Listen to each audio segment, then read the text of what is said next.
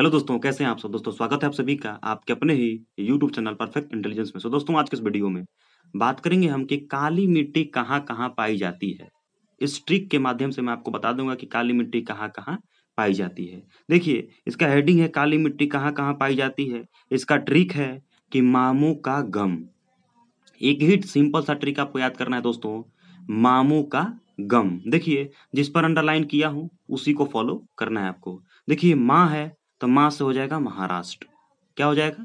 माँ से हो जाएगा महाराष्ट्र। और फिर मुँह है तो मुँह से हो जाएगा मध्य प्रदेश। मुँह से हो जाएगा क्या? मध्य प्रदेश। उसके बाद का है तो का से हो जाएगा कर्नाटक। का से कर्नाटक। और फिर उसके बाद गम है तो गम से हो जाएगा गुजरात। लास्ट क्या हो जाएगा? गुजरात। यानी फिर से एक बार पढ़ता हूँ कि काली मिट्टी कहाँ कहाँ पाई जाती है, उसका ट्रिक है मामू का गम।